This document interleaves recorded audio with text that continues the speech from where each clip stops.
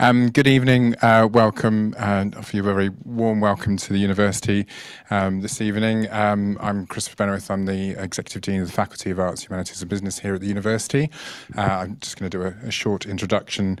Um, so uh, it's my great pleasure to uh, welcome you here tonight to listen to the inaugural professorial lecture of um, Katharine Willis. Got it right? Uh, becoming a professor is a, a, very significant event in an academic's career, and it takes a lot of time and dedication to reach this point.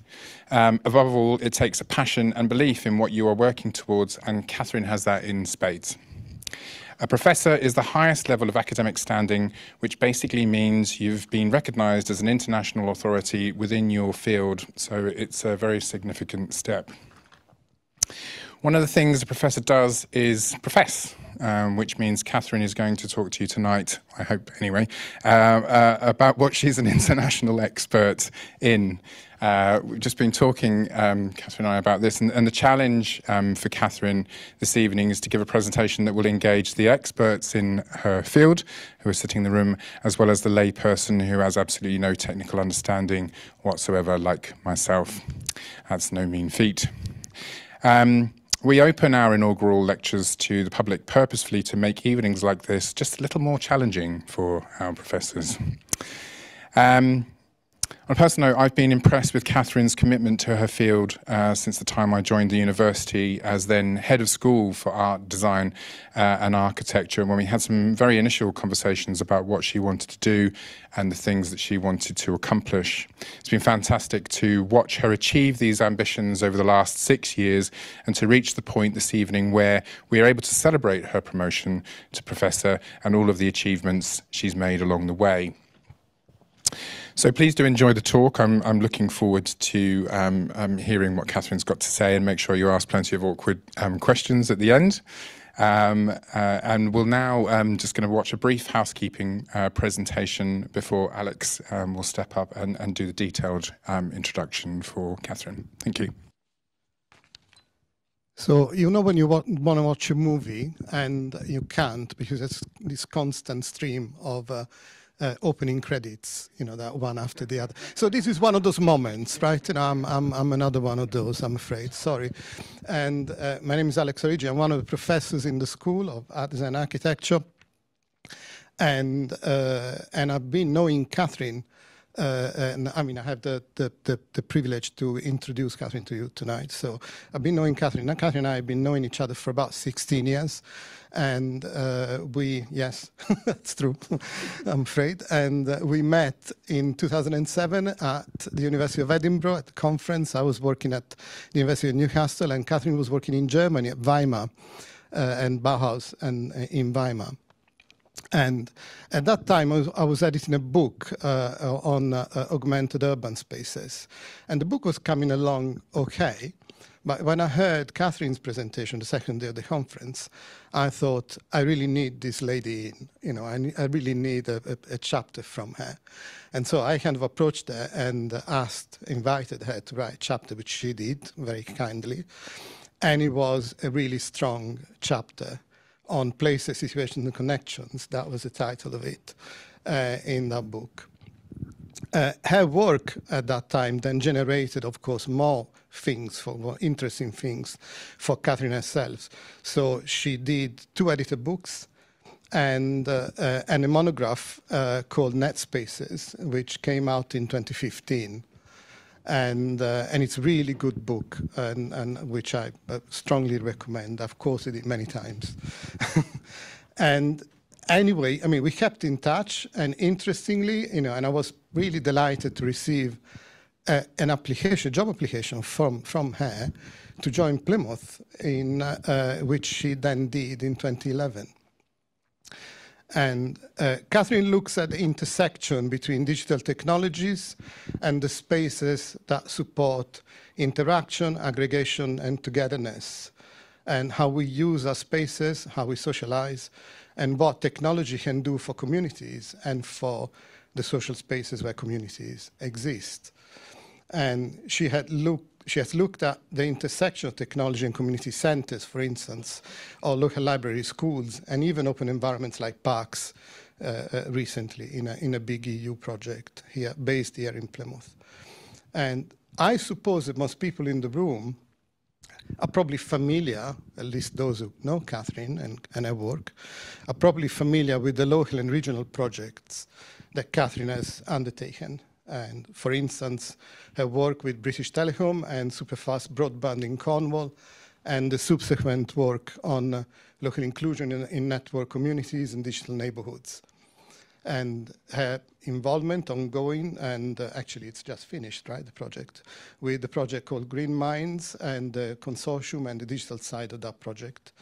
And, um, and the uh, collaboration with Nudge Community Builders on Stonehouse and the Community Renewal Fund here in Plymouth, and, uh, and as well the collaboration with Plymouth City Council on the Living Lab, lab here in the university on the e-bikes, on the recent kind of uh, mobility hubs uh, type of installations, and more. Uh, but only, I'm only mentioning these ones. And but beyond these, you know, so beyond local Katharine or regional Katharine, uh, there is something which is even more important in a way, which is global Katharine. And, and, and, and global Katharine is a very important side of of our speakers' work, uh, you know, because our contribution, even here in the region, could not be as strong as it is without the basis of a really impressive intellectual input into the field globally and the development of a world-renowned profile uh, based on international networking and publishing. And some examples of Global Katharine, which, uh, you know, are uh, her engagements with intercontinental research networks with colleagues in Europe, South America, Africa, Australia, and Asia, and of which uh, um, which also has included two funded Newton networks. And particularly, I'd like to mention the AHRC funded network called Whose Right to the Smart City, and which involved Brazilian, Nigerian, and Indian partners, of, of course, on top of UK uh, colleagues. And the work she's doing with the International Telecommunication Union, uh, the ITU, on enabling people-centered cities through digital transformation, and her active involvement in various editions of the Media Architecture Biennale, the MAB, and in Germany, Australia, China, and the Netherlands, and, uh, and of course, a wide range of world, world-class publications. So she did not stop at the Netspaced book, which nevertheless I recommend. And, but uh, she has produced two further uh, very prominent volumes for Routledge, and a monograph called Digital and Smart Cities, and the companion, and the edited companion to Smart Cities, which gathers together some of the most prominent global experts in the field, you know, from across the world. And all of this has consolidated her reputation in the field. So I'm not going to bore you further, but uh, I think for all these reasons, I think we can expect a talk which will be both kind of enjoyable, but also in, in, in, in Katharine uh, Willis' style, quite thought-provoking. And, uh, and I'm certainly looking forward to it. So so let me leave you to, to the talk, to this talk on smart cities and communities and the future connected neighborhoods and call to the lectern uh, Professor Katharine Willis.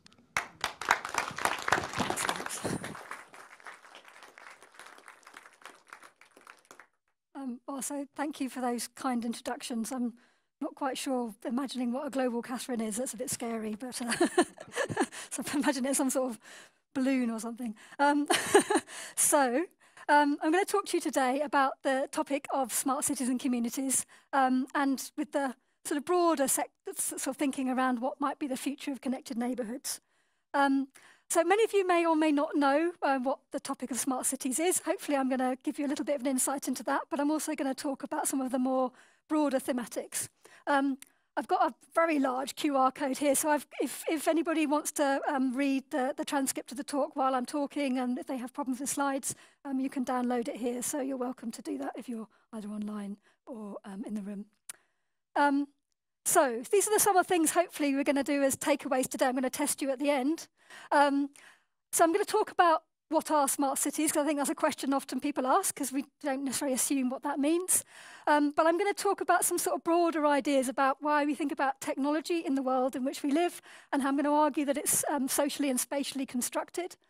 Um, and I'm going to, often when we talk about technology, I'll get someone who and many people who quite rightly sort of argue about the way that technology takes us away from the place and the space that we're in, that somehow being on the phone makes us not here, or how it stops us being connected to people. I'm going to argue the opposite. I'm going to argue how technology or, the digital world can also connect us to place and space. And I think that's some of the sort of key thinking I've got in the work that I do. And then I'm going to sort of talk a little bit more around this idea of what might be connected neighbourhoods and talk about how can smart cities support placemaking in neighbourhoods, thinking about some of that broader ideas around place and placemaking that we're developing in the faculty. So first of all, I had a bit of a panic last week and I was like, oh gosh, I've got to write the talk. So um, we were having a discussion actually at the Placemaking Institute and someone mentioned ChatGPT. So I thought, right, let's see what it comes up with. Um, so I asked it, um, if anybody knows ChatGPT, it's a, um, a chatbot that enables you, it's, it's been in the news a lot, and it's basically what we call artificial intelligence, so machine learning. It's a language generator, sources large uh, models of, of work that exist in the world and, and takes out knowledge from it. And there's a big debate about whether AI is going to take over the world. Um, so I asked it to write me a, a lecture. Um, the good news is it wasn't that great. Uh, the bad news is is when I asked it to make it, I tried various different questions because obviously it's a, it is, it is me deciding how the, the information that comes out. It's not, it's not the, the, it isn't inherently based in the machine. Me and the machine are working together. Um, but I asked it to make it fun and interesting. So the bad news is it was probably more interesting than me when it came out with its, uh, with its more fun and interesting model. But um, what, we, what it did come up with is some really sort of generic, and one of the challenges with the smart cities field is um, there's many interpretations of it. Um, and some of the, the work is, is very what we will call techno-deterministic, and it sort of imagines this, this world defined by technology. Um, and what I'd like to do is talk to you today about how, like I talked about, technology is socially constructed, but also how we can start to rethink some of the, the models that, that ChatGPT came up with when it trawled the internet to find out about what smart cities were into ones that are not defining this very sort of system model um, approach to where we're all living in, in bubbles and uh, commuting around in, um, in high-tech um, systems. So um, Alex mentioned this book. Um, this, this book was my, my sort of plea to, to think about space and place in a, what I called a network world. Um, I don't think I was great at networking because I'm not sure, Alex is kind, but I'm not sure many people read it. But anyway, I think it's an important book. There's some later stuff which has been much more widely read. But basically, um, hopefully, what I tried to establish, and it was is, is fairly original in the field, is the idea that technology has a place and is and we talked about and we have the networks of connectivity in the digital world and rather than disconnecting ourselves from place with technology actually it can reconnect um, and that's sort of quite fundamentally different to some of the ways that we think about the ways some of the fields we're in. Um, sort of, I originally come from the field of architecture, but I sort of moved around computer science, sociology, urban studies, media studies. I've been sort of tried to find the, the, my own place in those spaces. Um, so there's a growing awareness in the fields of design and architecture about the um, effects of the way that technology affects the way we, we, we, live in urban space. And we've got this emergence of smart cities, um, something called Internet of Things, and they've highlighted the connection between, so ICTs are information and communication technologies, and the city. So what I try to argue, and that's sort of some of the core thinking that, that hopefully we'll, we'll talk about today, is that networks are about the city. They don't result in these non-places. That's a term that means you know, airports and these places that are sort of the global global spaces where you don't quite know if you're in one city or another. In fact, they, they can result in meaningful and high quality spaces.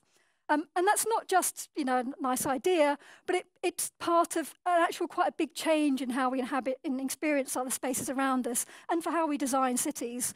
Um, and to some extent, things like COVID have shown us what that means. So I'm going to talk to you today um, about uh, three different levels of way of thinking about the urban space. So we're going to start with the spatial. Um, and I'm going to, like I said, I've talked about those, um, those three ideas I'd like to, to sort of bring across to you today. And I'm also going to use some examples um, from three cities to try and sort of illustrate my point. But so before we go, um, having sort of talked to you about technology and cities and space, um, I'm actually going to step back. Um, and we're going to step back into some more underpinning urban theory. We're going to leave the technology behind for the moment and we're going to go to 555 Hudson Street. Um, so this is in Greenwich Village in New York.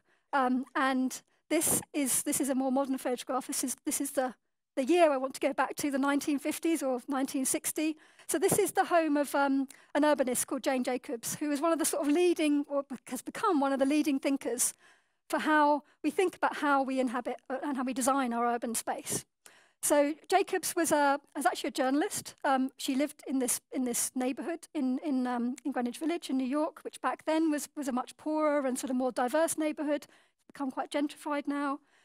Um, and she sort of became very, you know, she, she watched the neighborhood around her and she was quite involved in it. Um, but uh, it became a sort of site of uh, really where sort of a new approach to urban theory emerged. So we have um, in, in, urban, in urban thinking, a lot of our urban theory emerged in the early 1900s when we started to um, have uh, the world was, was urbanized. We started to have these more in, uh, sort of large scale industrial urban centers, um, and we created these sort of complex urban spaces. Um, Jane Jacobs started to, to argue for another way of understanding the cities around us. So the reason she did this was because um, back in the late 50s, Robert Moses, who was the, the chief planner for um, New York City, uh, had this, this big master plan. It was a sort of example of what we call sort of top-down or modernist urban planning, you know, the key idea about how we're going to create a new vision for the city. And this vision for the city was this expressway that was going to pass through New York and create a new model of how the city would work. So you can see this is a top-down view. You have this large-scale infrastructure all the ways in which we think about the way that we think the city, the sort of urban planning and, and city making um, that emerged over the last sort of 40, 50 years was sort of exemplified in this idea from Moses. Um, the challenge was that um, while it was promising this, this modernist vision of how we would live in the future, you know, moving around um, through using cars and the sort of heightened mobility, um, what it actually was going to do was to, was to go through Jacob, Jacob's neighbourhood. So 555 Hudson Street is somewhere in the middle there and would no longer exist. So Jane Jacobs didn't start off as an urbanist. She started off as like a journalist who lived in a space, but she became involved in a sort of battle, this sort of metaphorical and literal battle for the city. Um, and so Jane Jacobs um, was arguing about the fact that we needed to preserve the space in which she lived um, which was this um, Hudson Street or the Greenwich Village neighbourhood. Um, and she sort of argued about it in a way that sort of involved um, lots of ways of thinking about the city which were, were different from the way we have now.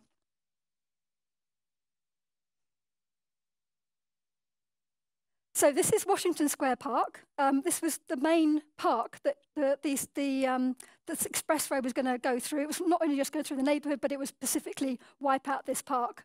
Um, so this park, you know, again, parks we often think about in the Western sense, you know, they're, they're sort of just there. But actually, parks are really important parts of our, of our social infrastructure, of the public space. They're public accessible, they're places open to anyone, and they're places where people can come together. We call them maybe the commons or the space of, of, of coming together. And in fact, Washington Square Park was exactly that. So this is a few years later. Oh, given my given it away now. It didn't. She didn't win. She won. Sorry. Um, um, but this became actually a, a site of, of, of real um, social activity, one of the sort of political and social centres of New York, where beatniks came, and it became a, a really important space for people to come together. But what to do was argued that parks, uh, streets, side, she called them sidewalks, so pavements, um, the, the, the, sociality of the urban space was actually what urbanity was. So when we think about top-down sort of modernist urban theory, this infrastructural idea and the idea of the city as the buildings, you know, the built space and the infrastructure and all those ways in which it's the, the buildings and the spaces and the material world that is the, the city. Jane Jacobs provided the opposite and argued that this was what made cities. This was a cityness. So people inhabiting the space, particularly where you have the space in between, so the public realm or the commons, um, the place where people can be, anyone has access. So actually, it was the, the social space of the city that, that Jane Jacobs argued was the city. And this was quite radical back in the 50s because the built environment was a city. You know, they, people understood it that way and they, they make it that way. So to understand the city as the space in between, as soft, as social and, and people, um, Jane Jacobs talked about togetherness. Um, she was um, very much got this idea that the city was about um, the, the, way that people worked together and, and came together and um, did things. So I'm just going to read a little bit of a text from Jane Jacobs about how. So one of the ways she, she understood the idea of cityness was not from, um, again, sort of abstract representations, but from observing the space in which she lived, the small scale neighbourhood of um, Greenwich Village. So this is Jane Jacobs' observation in her book, Death and Life American Cities. While I sweep up the wrappers, I watch the other rituals of the morning. Mr. Halpert unlocking the laundry's handcart from its morning, mooring to a cellar door, Joe Cornacchia's son-in-law stacking out the empty crates in the delicatessen, the barber bringing out his sidewalk folding chair, Mr. Goldstein arranging the coils of wire which proclaim the hardware store is open, the wife of the tenement superintendent depositing her chunky three-year-old with a toy mandolin on the stoop, the vantage point from which he's learned the English his mother cannot speak. Now the primary children heading for St Luke's dribble through to the south, the children for St Veronica's Cross heading to the west. Two new entrances are being made from the wings, well dressed and even elegant women and men with briefcases emerge from doorways and side streets. So you can sort of see, and she talks about this as a sidewalk ballet, and this is the, the sort of cityness. Um, but she also talks about how those people are also sort of custodians of that space, and they create what she calls a sort of sense of togetherness. Um, now, in terms of togetherness, um, she, we, have talked, we've I'm going to introduce this idea of something called social infrastructure. So the parks, the streets, the, the, um, the, the spaces in which the society, our society comes together. Um, and that's really what gives a cohesiveness, and we create something we might call social capital. And social capital is the degree of a community to be able to respond to change, be able to make changes, and also to be able to deal with difference, so to be able to respond to a diversity of uses. And that's something I'll come back to later. So thinking about the city as social infrastructure and not this idea of technical or, or um, physical infrastructure like, we saw with that expressway. So the other part, the thing that Jane Jacobs do, which was a sort of fundamental difference to um, the way we think about urban, urban theory, was she involved local people who became involved in the fight, or the, what we call the right to the city. I mean, we have um, some, some work that's developed out of not necessarily Jane Jacobs' work, but the idea that people have the right to the city, the right to the, the urban space, and they have a right to be involved in how it's developed. That sort of comes out of Lefebvrean and sort of work by Neil Brenner that thinks about the right to the city as a right to right to the commons, the right to, to, be, to be present in your own space. Um, so one of the other things you do was sort of create a whole, a whole sort of level of activism around campaigning for their, their own people to choose what happened in their urban space. Um, so they had, you know, no road through our home. And again, you know, it wasn't, there was a, there was a much different sort of power uh, dynamic in, in the sort of cities at that time where urban planners were actually sort of, you know, very, very powerful um, parts of how cities got changed. And championing against them was quite difficult. So the fact that she managed to mobilise a whole neighbourhood um, and come together and sort of bring in local people who weren't experts, who didn't didn't have any knowledge, and to sort of create a counter movement was that idea of um, how we might sort of also see the value of the social as part of the spatial. So, like I said, the, the good news was that um, Jane Jacobs won. Um, she, she, uh, the, the, the road was not built. Washington Square Park is still there, and it, like I said, it became a site of, um, of, of real sort of importance in the city in terms of politics and the sort of societal implications of people coming together, part of some of the key social movements that have formed New York City. So this little fight, this fight for the neighborhood and the fight for the park as a place of difference and a place that could be valued, um, you know, has, was, was not inconsequential. So, but, but this idea, and again, this is quite you know, it was quite radical in urban theory. You know, you wouldn't, you wouldn't have thought that the street, she talked a lot about the value of people keeping eyes on us on the street. You wouldn't have thought that those things were actually part of what would constitute a city. But she argued that we need to understand and understand thoroughly specific places. So rather than this sort of global context and this aspiration for a vision of a sort of utopian city which would solve all the problems, she said we need to be in these, these specific places. And she also talked about the fact that um, it's the is uh, there's no logic that can be imposed on the city. People make it, and it is to them, not buildings, that we must fit our plans. So again, the idea that the, the city, the city could be made of people, the people constructed the city, was quite radical. So this is the idea about how place and space are socially constructed. I mean, we, we have buildings and we have the built world around us, but actually it's the spaces in between and the way that people appropriate and make sense of those spaces are often the way that we understand the city. But it also was a little bit about how cities are also um, sites of difference. They're chaotic. They don't. They don't. They aren't utopian and vision. They aren't. They aren't the sort of perfect spaces. They're, some of them are. The, the value of what we have is that, social of the the people coming out in the morning and maybe you know kids screaming and that that that chaos, that incompleteness is what she argued is cityness. Um, so again, th the idea that we can think about cities as socially constructed as well as spatially constructed. And that was really, again, like I've mentioned, quite radical in the way we think about architecture and urban space. It's not based on aesthetics or the physical built space of the city, but how people shape it, how people make sense of it. And those intangible and social qualities of place are socially constructed, so defined by people rather than by architects and urban planners. So here we go. Oh, there we go. This is, the, this is Washington Square Park today. Um, and another way in which we started to see this idea of social infrastructure as the building blocks of place is Oldenburg's idea of third place.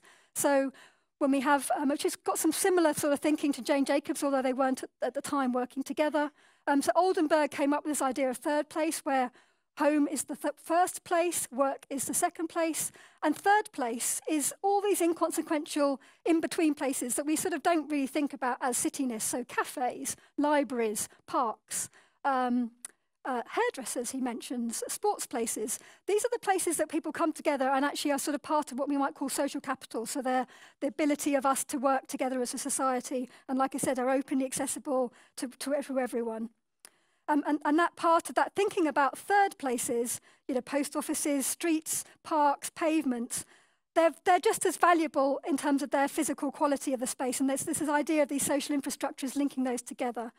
And that comes again to this idea of, of neighbourhood and how neighbourhood can be seen as a sort of um, creating that important context of third place outside that, that first place of home and that second place of, of work. So again, this was quite radical thinking. This is all back in the 50s and 60s.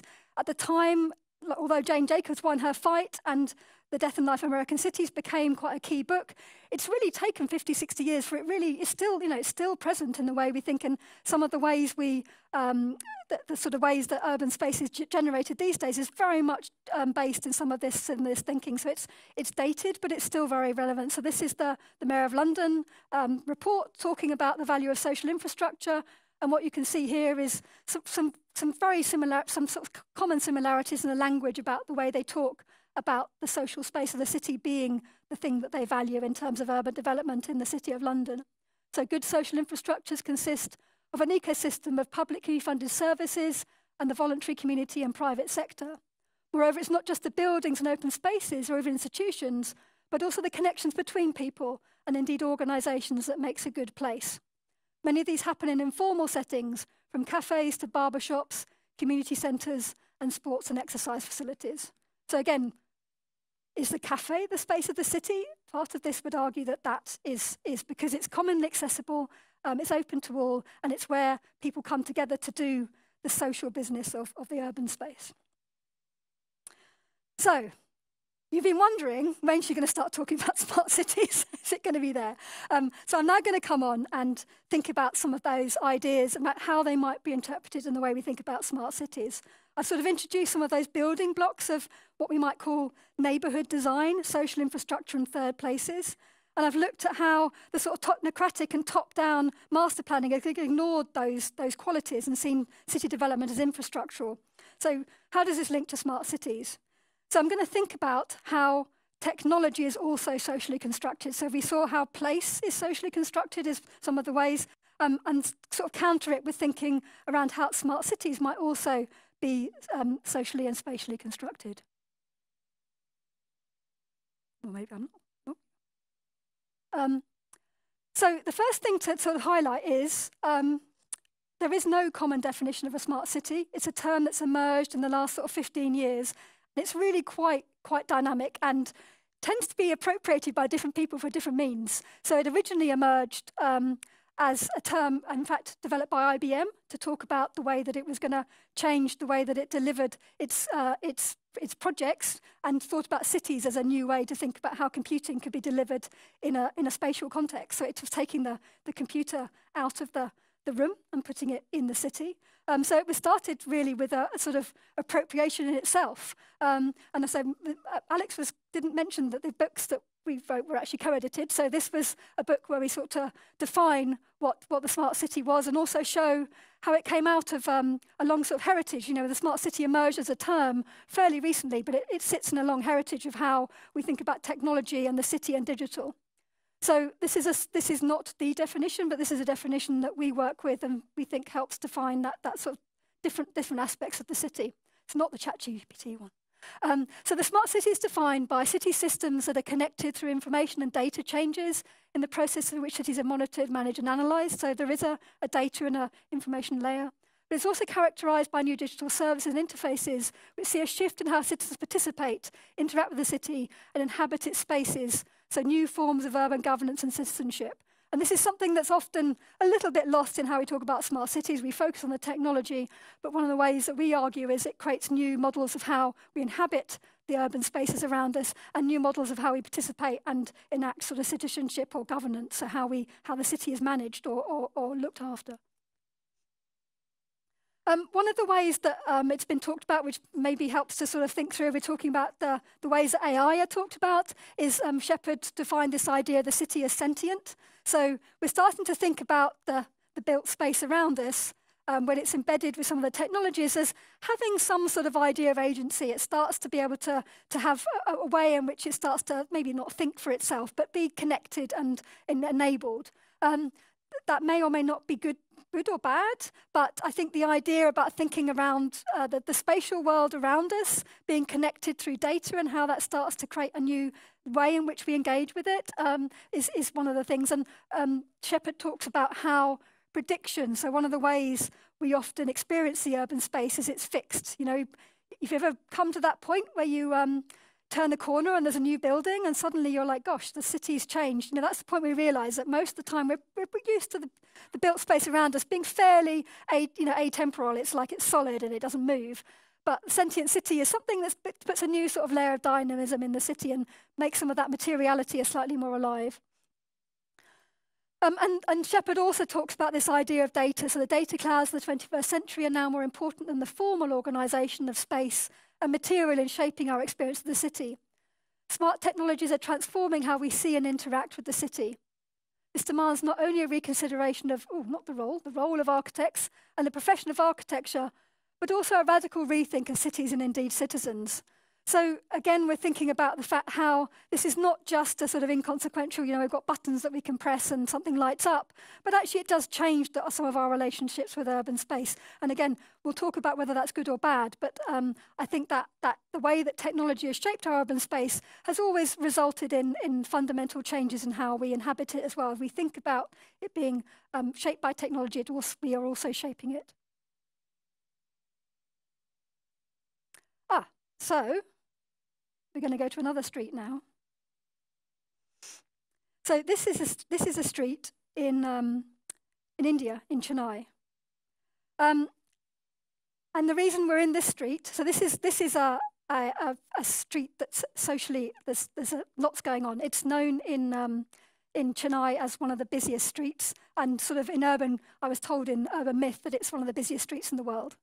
Um, so Ranganathan Street in Chennai is this, this, uh, this, this great space of urbanity, a social space um, that's inhabited by all these different people.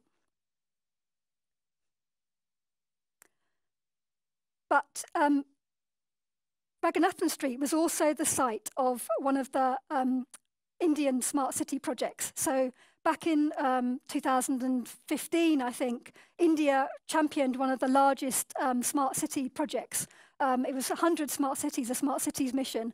And Nagar, or the district which we see here, was the site of this of, of the, the smart city project. So we had a um, we were we were. I'll talk to you a minute about the project we do, but if we can just put yourself in the space of this street. Um, there's informal traders. There are some formal shops, but a lot of the space in this street is being um, is, on, is very dynamic. It's sort of happening all the time. There's you know, there's lots of people. There's rickshaw drivers. There's uh, people moving through, making shopping, people meeting. It's a really dynamic urban space, and um, some of the ways that this space has been characterised is as a problem. As as so, so there's a the infrastructure in, in Chennai, um, particularly in T. Nagar, there's a problem with the infrastructure in terms of uh, sanitation, in terms of flooding, in terms of access to energy. All the sort of infrastructural things are seen as problematic, and this space is seen with this, uh, this sort of mass of people moving around is seen as, as being, being problematic. So one of the ways that um, the, uh, the Indian government, so this the Smart Cities uh, mission in, in India was one of the largest globally smart cities projects, of quite top down, so led by the, the Modi government, originally sort of championed by Modi before he um, he moved into his role as, as Prime Minister but in Pune. He tried it out um, in Gujarat. Um, so smart city projects aim to have 100 smart cities um, and was a large, large investment. And like I said, T. Nagar was one of the, the cities that was selected in Chennai as the, the site of the smart city. So it's another neighbourhood, uh, T. Nagar. So the, uh, the smart cities mission was basically a sort of pitching exercise by Indian smart city, Indian cities, and they pitched for large sort of amounts of money from the from the Indian government to, to create a smart city in the in the in the um, in in the in the in their own city. Um, and T. Nagar, which is this district here, and Ranganathan Street is a street off to the to the left, um, was one of the things that pitched up to, to, to create a smart city plan. Um, so I said it was uh, the, the, densest shopping district, a really sort of vibrant space, um, but it was seen as a problem. Um, and they wanted to, to, to, to, to create a solution which was, um, was smart. So they were going to have smart bus and e-rickshaw feeders, solid waste management, water supply management, sewage management and storm water management, including a floodwater and monitoring system. So, you know, lots of things to help solve the problems of this urban space. Um, you know, some of this was seen as, as slum or, or informal, informal neighbourhoods. And again, lots of, um, lots, of, lots of people inhabit that space that may be part, not part of the formal economy. So smart city projects can, can take all sorts of form, and we can argue, in fact, whether this was indeed a smart city project because it was quite problematic in some of the ways that um, it was doing that. So the reason um, I showed you the picture is because we got an AHRC project to look at um, smart city projects around the world and try and understand what that meant for the people, for the social aspect of the city. Um, so we, we called it Whose Right to the Smart City, and we were looking at um, some of the ways in which people were maybe um, championing or fighting back against smart city projects that weren't delivering the smart city in a people-centric or a place-based way. Because one of the challenges with um, some of these smart city projects is they don't really understand those specific places of Jacobs.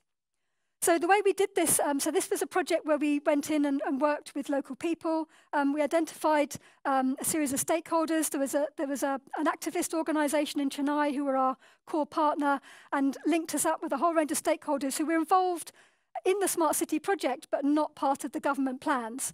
So we did some mapping in the city space. We've got architects and planners, um, some industry people, people from the local government and local community organisations. And we started to understand in the space how the smart city would land in that specific place.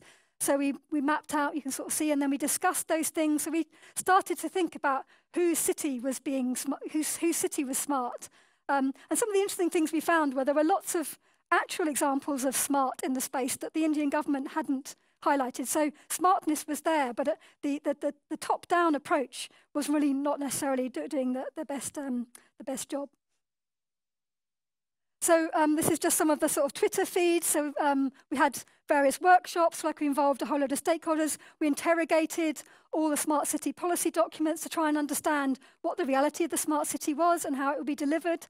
Um, and we had, like I said, stakeholders from the city there to try and understand that. And one of these was um, uh, the, the, the, gentleman here, who was the, the lead for the Street Hawks Association, which um, myself coming from a Western background, I hadn't really understood like quite how powerful that was, but in the break he told me he had 40 million members. Um, so this was, you know, one of the most sort of powerful organisations for the informal economy because the informal economy is the economy, uh, not is, but is a very powerful economy in, um, in the Indian space. And those were the people in the streets.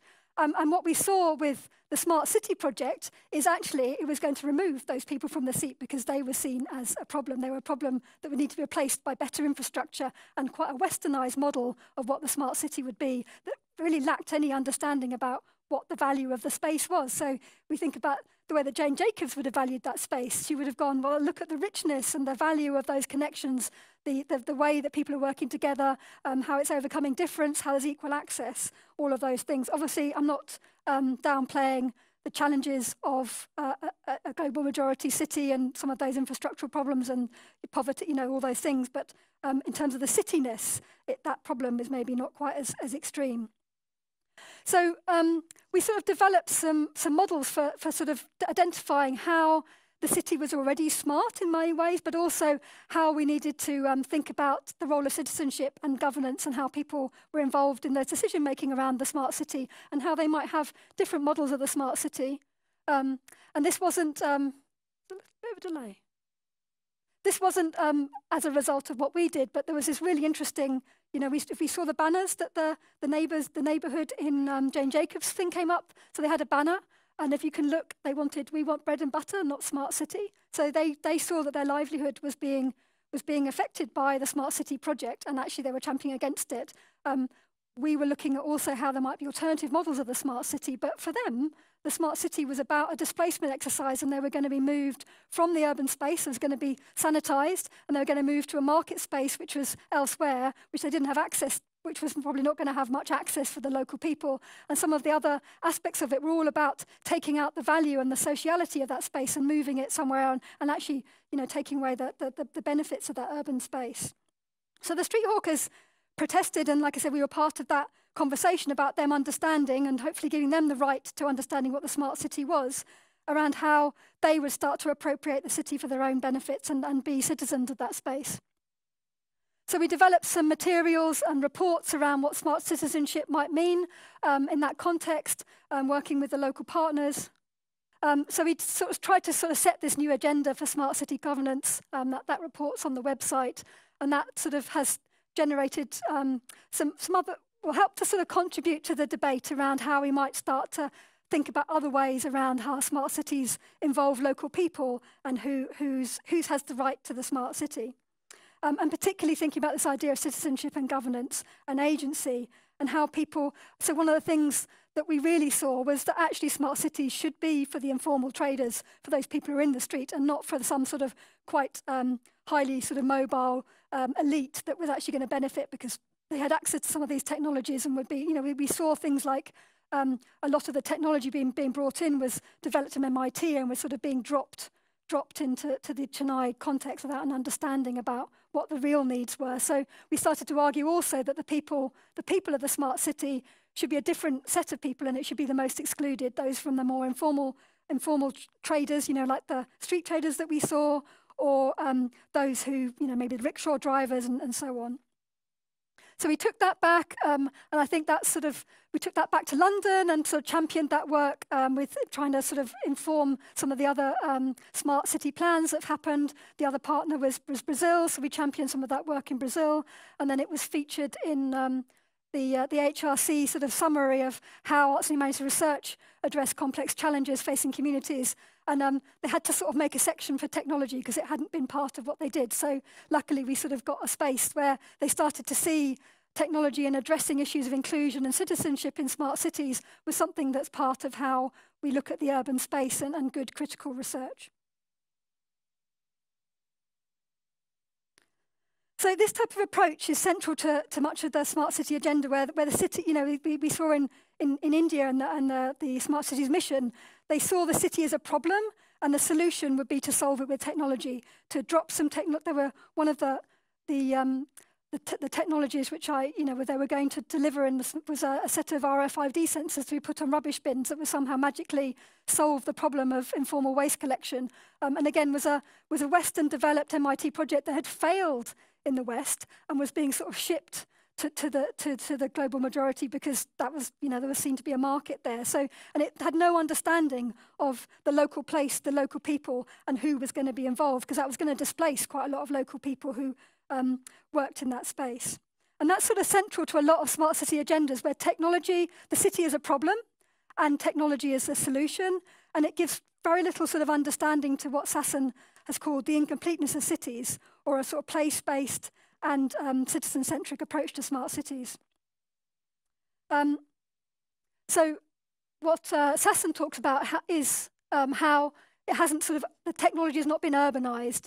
Um, our cities tend to be, um, tend to urbanize technologies, you know, how technology, how we socially construct technology. And this opens up a whole field for research and interpretation, invites us to reposition Western notions of urbanity and um, uh, building technologies in urban space.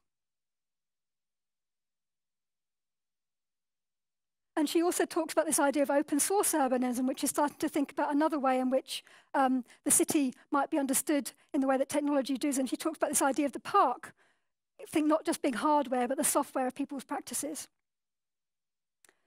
So, the challenge we identified in Chennai is one that's played out in other smart city initiatives globally, and there's much critical research on sort of failed smart city agendas. The WHO Smart City project identified the need to empower local people at a place-based level and to develop smart city project for themselves.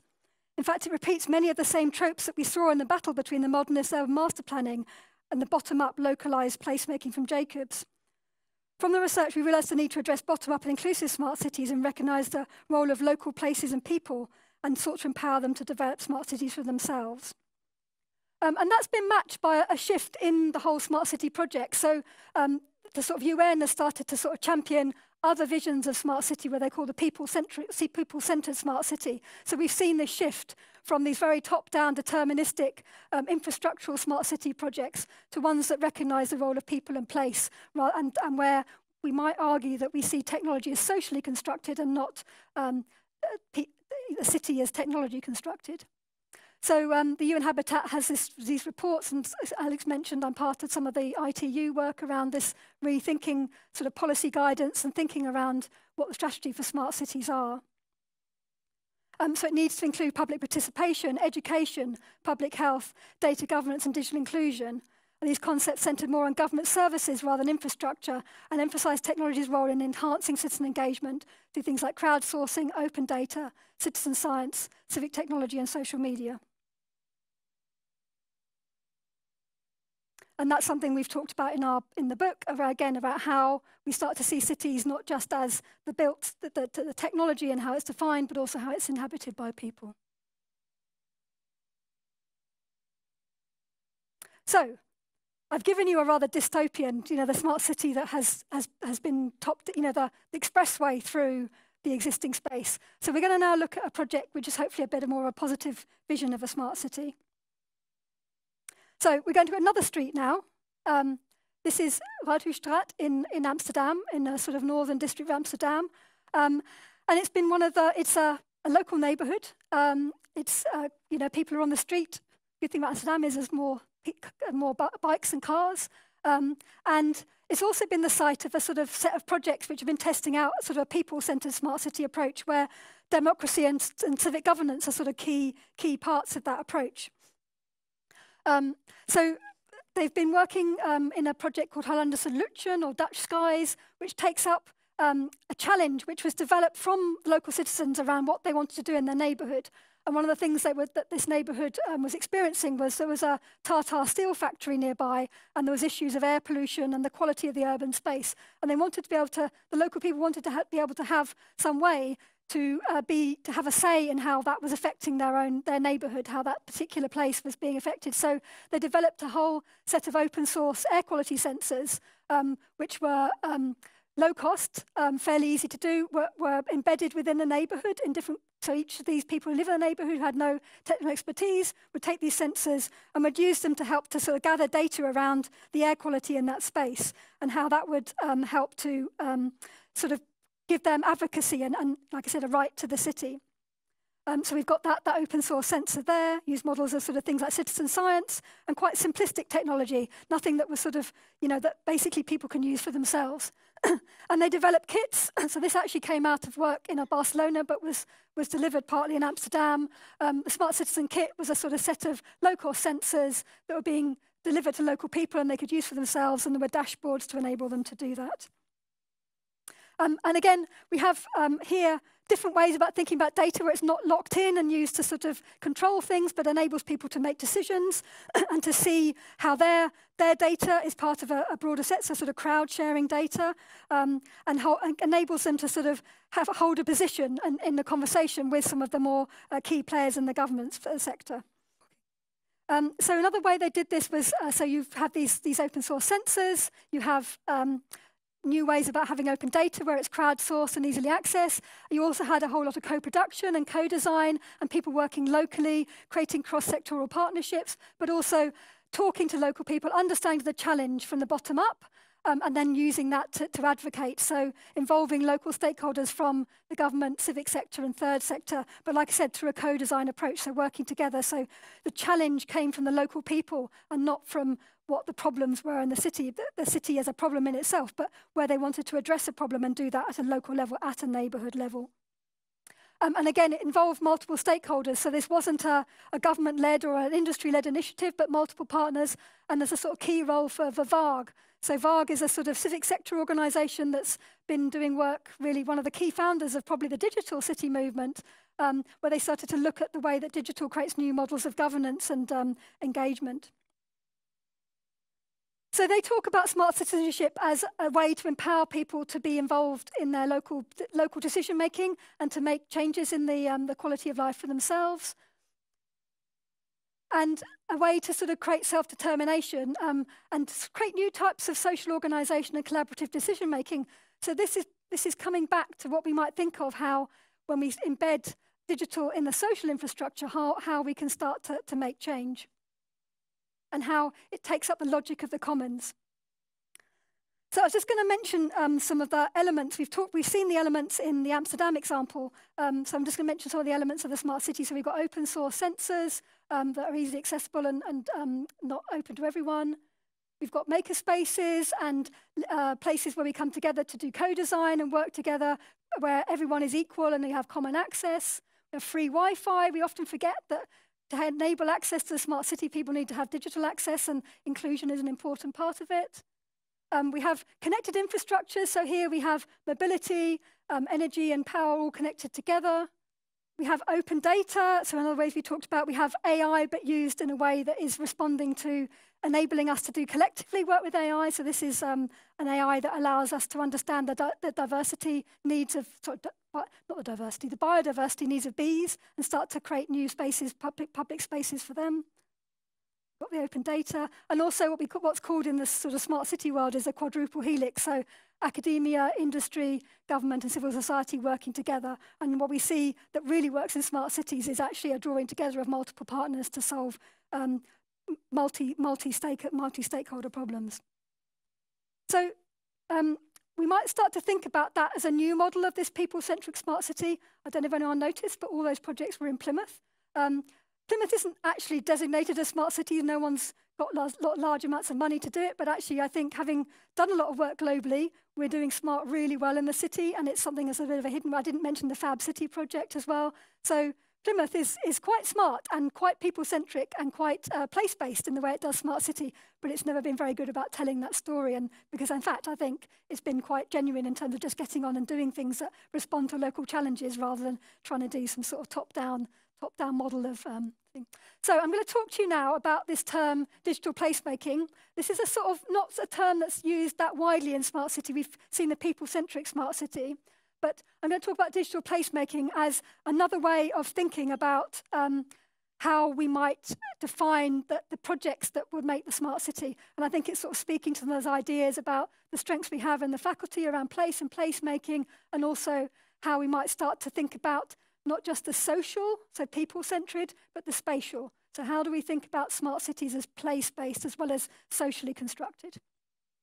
So this goes back to some thinking. You remember my Netspaces book, and Horan talked about digital places, this social infrastructure. So when we start to embed the digital, not just in the, the, the, the spaces around us, but also in the, in the social infrastructure, if we can merge the, the social and the digital infrastructure, we start to bring some of the benefits we saw from like the Jane Jacobs example with the digital, and we don't have that sort of um, disconnect that we saw in the, the Chennai example.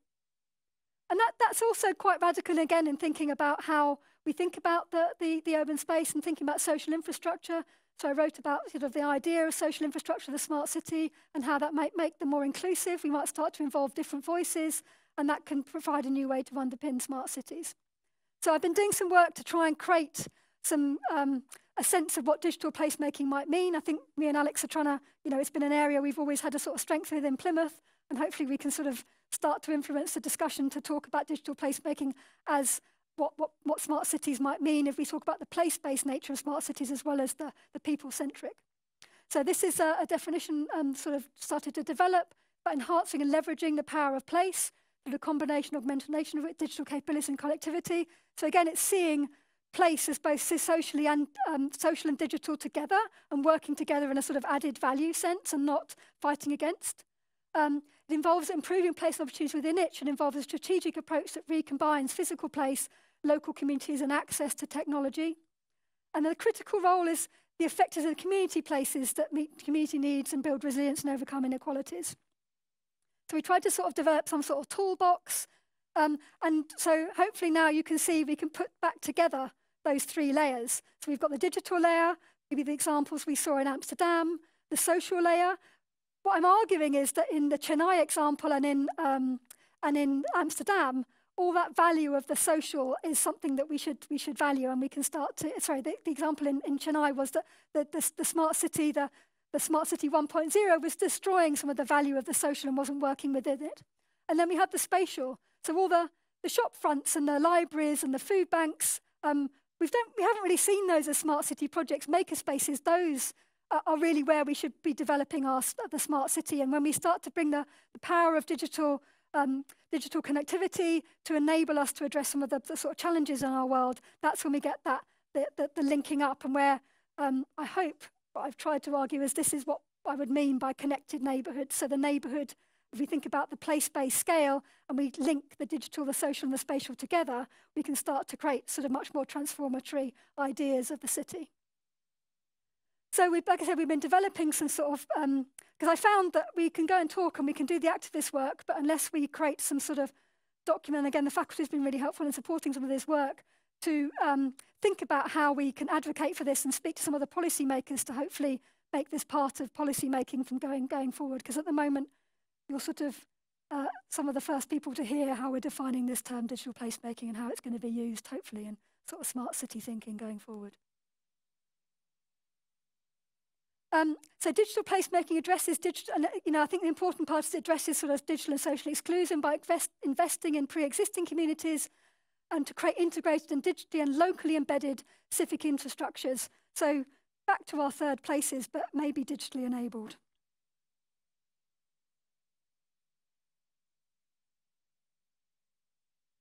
And so these are some of the components that we could we do. So um, civic engagement and networks, leveraging, I've talked about the idea of collective intelligence, so that might involve AI, but doing that in a sort of people-centric way, hyperlocal approaches, integrating digital access and skills. So skills is another bit. We're going to have the smart cities. We need people to have the skills to be able to, to inhabit them. Access and creating synergies between digital and economic. But I'm just going to, I was going to briefly talk about the Green Minds project, but really, um, I'm not going to talk about it in detail in the project. You can look at that later, but I'm just going to talk about it because we've been trying to test out some of those ideas. It's in a park. Um, it took me quite a while to figure out the link back to Jacobs and how actually parks, are, you know, parks are actually one of the core urban spaces in Plymouth. We're really fortunate and we don't really value them. So parks are sort of a bit unloved, and but thinking about parks as one of the core places of the commons, and if we embed digital in them, how does that do? So we're doing lots of co-design, um, engaging with local people, particularly with younger people. We found in sort of European context, the most excluded are not the informal economy, they're children and young people. Um, so you remember Chat, ChatGPT, where it was, uh, it's being led by OpenAI. Um, we don't know the funding behind it. We don't know what the purpose is. We don't know how it's being created. Um, and it's mainly sort of going to be, you know, something that we, we don't have a lot of control over and we can sort of start to appropriate. So we've been, one of the small parts of the, of the Green Minds project has been developing a chatbot that enables us to talk to the park. So we're trying to think about an idea of collective intelligence where we also involve the non-human. So what would happen if the, the park could have a voice? Um, and what would happen if we could enable not just our people to be, um, to, be, to be able to participate in the smart city, but the non-human. And I say that's where ChatGPT and chatbots are actually useful, and we can get, get, get scared about what they're doing, but we can also start to use them for, our, for things that really matter and maybe create ways to break down barriers between the sort of non-human and the human worlds, or to create ways to create other, way, other ways to communicate where we're part of that conversation. So this, in this one, you can talk to the park, or you can talk to a sort of personified butterfly, and that's been one of the ways that we have where you can chat to the park. So um, I'm going to sum up now. Um, I've hopefully given you some idea of what, uh, probably not what you expected, but some idea of what a connected neighbourhood might look like when we integrate these different layers of social, spatial, and digital. Um, and I think that's part of trying to think again around how the digital is not operating in a different structural sense. We're not treating it as a different thing. We're starting to integrate it back into our local places and see it as socially constructed. And if we do so, we start to get, like I said, that added value about how we can start to re inhabit. And when it starts to go into the libraries, the parks, um, the, the streets, that's when it starts to become powerful and help us to really think about resilient communities and um, some of the ways in which we move forward in some of the broader urban challenges that we have. So hopefully, to come back to some of the, the key thoughts I've tried to, we, had at the beginning, and you probably thought, what was that all about?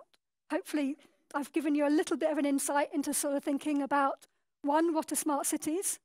Uh, two, the idea that technology is socially constructed rather than uh, deterministic and top down, um, that it can support a sense of place and community if it's done in ways that are thoughtful and place based and people centric.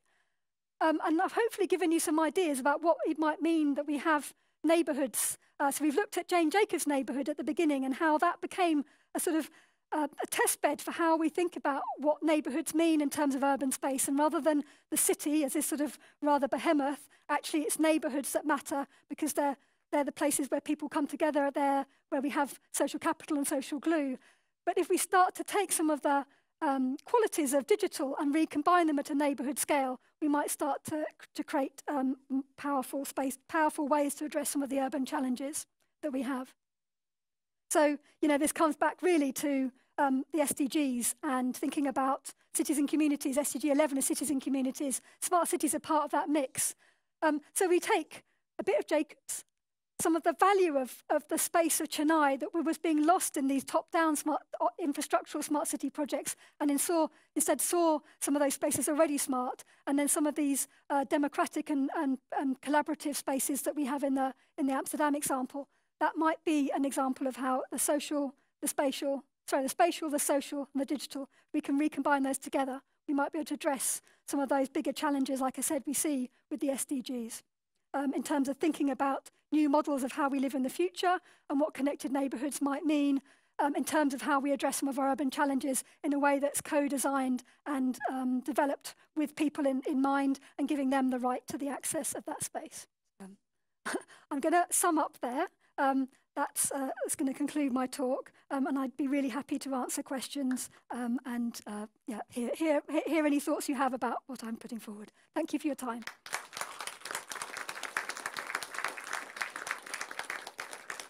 And um, and actually, I'll start from a question which is kind of directly related to, to the to the talk. So it's you know, and yeah, that, and directly directly related to what you've described at some point, and which was about the Chennai example. And uh, so a person, anonymous, is asking, how was the recommendation to develop smart citizenship that respects the informal incompleteness received by those decision makers in India. So how has Chennai changed, if anyway? Well, I mean, the simple fact is they didn't deliver the smart city project that was in the, the proposal. So that, that sort of stalled, stalled that, that, that top-down approach because they found that there was, having, having argued they'd done some consultation, they found that some of the ways that we were sort of engaging with local people started to create new, new ideas. But practically it was, um, it wasn't just us. It was actually the fact that they weren't going to work because they were top down and they hadn't understood the local place. And cities, as, Sassen argues, cities talk back. They don't, they don't take kindly to things that don't work. cities are complex and quite tricky spaces to work. They don't change quickly. So if you haven't done the co-design, if you haven't really understood what's needed, actually it's quite difficult to implement at scale. So, you know, the large the, the, the aspiration of that very um, utopian top-down, let's change a whole neighbourhood, is tricky to deliver in any sense. And if you haven't done that sense of understanding what, what really works and building it on a, on a track, you know, on, on a basis of what, what's, um, of how people are involved, it's quite difficult to deliver. So we went back, um, I think, three years later and found that not just Chennai, but a lot of the smart city mission projects in India hadn't been delivered as planned. They hadn't spent the money because they couldn't get them on the ground. And that's been, that's been a tale that we see globally. And that's one of the reasons why we've come to the, the UN Habitat isn't doing this out of the kindness of its heart. It's because there needs to be another way to do it and it needs to be people-centric and involving local people is not a sort of, you know, attacking it on the end. It's because otherwise things don't work and we can't deliver urban, urban generation without um, people and a much more sort of citizen-centric approach. I won't and mention the project in Plymouth.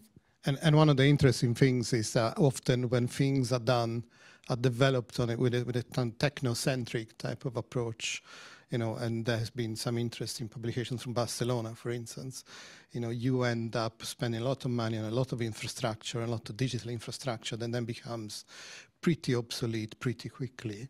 And then you have a lot of wrecks, digital wrecks, uh, you know, whether sensors, whether other things, etc., kind of scattered in the city, which are not used uh, uh, anymore uh, because they've never been used because they were not kind of uh, designed with people in mind. Um, okay, uh, should we get, yes, there is the gentleman over there who's a professor of poetry who wants to ask a question. Can you hear me? Good. Um, really, really wonderful and exciting. And I am wondering if you can talk a little bit more about the role of the smart city in terms of influencing and benefiting um, health and well-being in perhaps multiple deprivation zones. Yeah, so again, starting with what's the challenge. So I think we start with, well, what's the, what's the thing that we want to address in those? And so one of the projects we've had in Plymouth, we had a UKRI place-based partnership for public engagement working in Stonehouse, where Stonehouse has one of the lowest levels of, sorry, highest levels of deprivation around health. So we looked at trying to work actually around social prescribing. I know, you, I know you're something involved in looking at how we could use a digital to sort of support social prescribing. Could we prescribe digital? Um, and there's also, we've got the, um, obviously we've got Gold and um, uh, the um, uh, iconic projects. I blame Ray for the, the, the names, but they're looking at how we use health. And that's not uh, that's whether we call it smart, but it's using those sort of technologies where we're connecting with people. I mean, one of the great ways has been looking at how, for example, virtual reality can connect people who can't travel to the inequality of mobility and how you can overcome that through digital. I can't physically move to a place. So one of the things is, you know, put people at, try and arrange transport to the well, spaces of well-being, green spaces, outdoor spaces. Can we connect people in other ways and get some of those well-being benefits? So that's been some of the ways where digital has sort of overcome some of the barriers where you can access spaces that are restorative, but you can also um, do that in a way that's not replacing the actual space as well. Okay, I'll, i know there's a Professor Vister here who's kind of um, raring to ask, but uh, I will pick another one from uh, from the online, and which is about uh, inclusion, and and I think it's quite it's quite important. The, the the question is how do we ensure all the people aren't left feeling confused and left behind? When using modern technology to make changes. So how do we include uh, aging an aging population within within smart and smart cities? Yeah, so I mean, um, I haven't talked about the work I've done around digital inclusion, but I've done quite a lot of work looking at who's included and what digital inclusion means, uh, because again, it, it's a fallout. The minute you start to think about how you're doing smart cities, is you think, well, who's who's not who's not smart? and of course, the people older older generation are are, are wise. Um, so what we wise and should, um, but what we found is that um, there's lots of benefits for how when you bring out the skills. So, so we really there's a skills gap, um, and the skills gap in the older generation is again not necessarily um, a result, you know, result of their generational things. And so we bring out technology in the context of what they want to do. So a lot of the ways we've seen is we found older people maybe um, have, have access, you know, access issues and how we can show how digital enables them to overcome some of those access issues, how it enables them to connect with family and friends elsewhere. So trying to build back the pattern of where the exclusion is, is excluding them not just from the digital, but also from their participation in society and bringing them back as active uh, members of society. I mean, like I mentioned, the, um, the Iconic and Gold projects, which I'm part of, which are led by the Faculty of Health, another way we're doing that is looking intergenerational. So they're looking at linking up. Oh, Marius is here. Linking up um, younger people and older people, so you get that that transfer of knowledge. So the younger people who have the skills and the older people who have the knowledge but don't necessarily have the skills to match of trying to do that intergenerational um, knowledge exchange as well. So that's another model of how you do that. But there's many again place-based linking in with local places. So where um, people come together, bringing the digital into that. I've done a lot of work around the role of community centres and embedding digital within the everyday activities that happen within them. Yeah, and I was going to say, in fact, it's a great vehicle to togetherness, you know, that type of inter intergenerational work. Uh, James. I thought that was an absolute tour de force. Um, oh, I have a I have a microphone, so I'll be even louder. I thought I, absolutely professorial. I thought it was uh, outstanding. Um, talk, and I've got at least three interrelated questions that I, but I won't answer, ask. No, give, give us one. As a historian, I'm really interested in looking at the transformation of the city across the longue durée. And I'm interested in where the digital sits, because many of the sort of processes that you're, you're thinking about have been done by other means in, in other ways.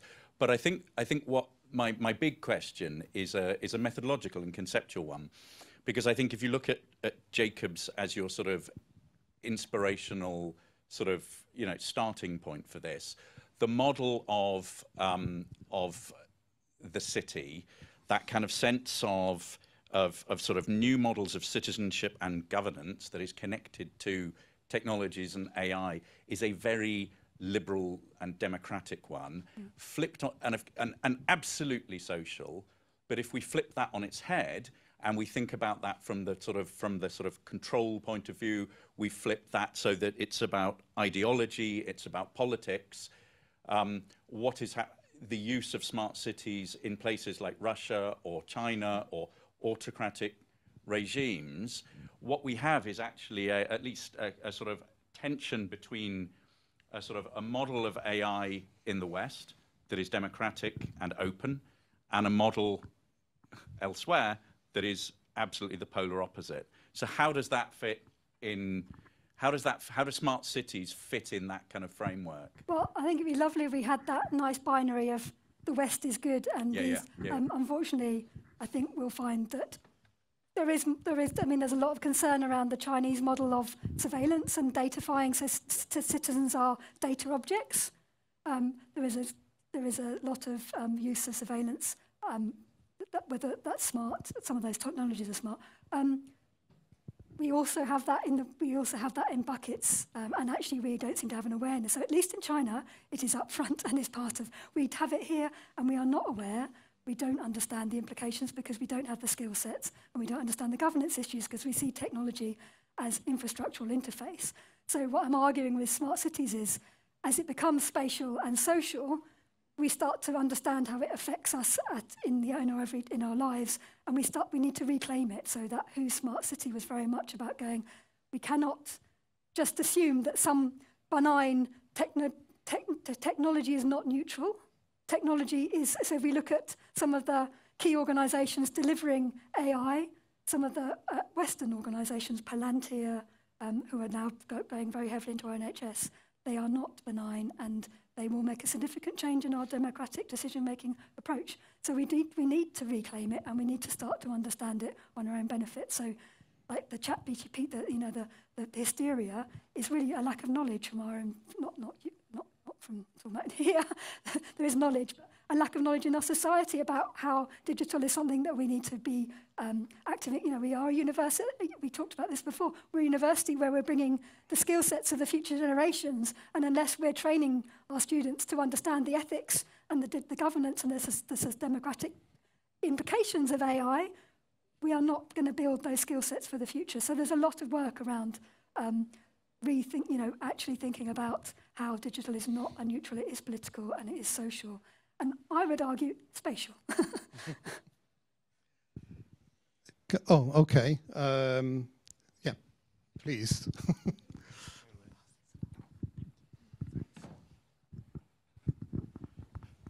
Thanks, Katharine. Uh, great talk. Um, I'm not a professor. It's okay to ask a question, isn't it?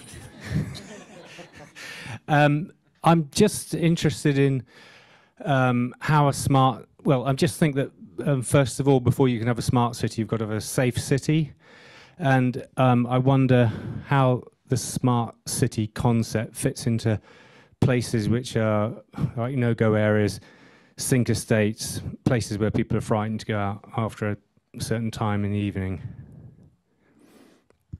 Well, I mean, again, I don't think the smart city is going to solve, or again, this idea that it solves urban problems. So one of the first things you'll often see in our, some of the Smart City 1.0 is the city is a problem and how the smart city is going to solve it. And I, hopefully I've argued that that's, that's a false, this false argument. And we start with what's the thing we need to address. So if, if fear, if safety, if, if safety is one of the things we need to address in our cities, um, there are many ways that we do that and whether technology is going to be the right solution.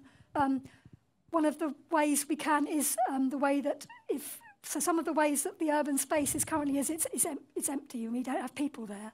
Jacobs argued that people create safe spaces, Pe people attack people, which creates governance, which creates a model of sort of trust and um, you know civicness in the space.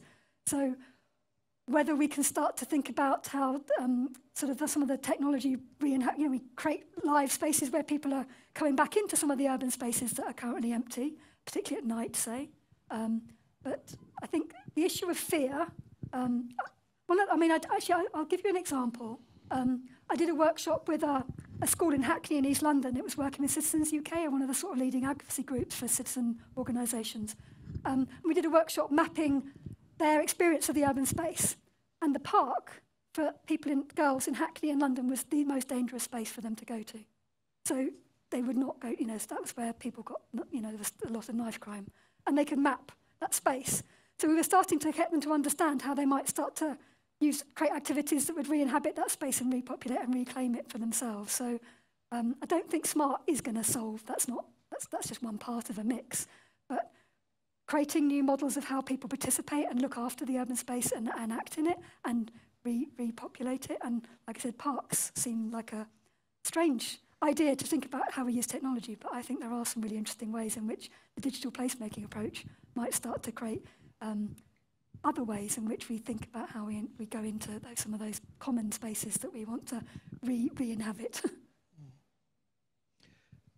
All right, I think we could go on and on, and I have a lot of questions here. Some of them are quite interesting, and but it's 20 past, so maybe should we uh, kind of enjoy ourselves out there and have a have a quick kind of drink and keep chatting and keep talking, Katharine, and amongst ourselves. Thanks very much.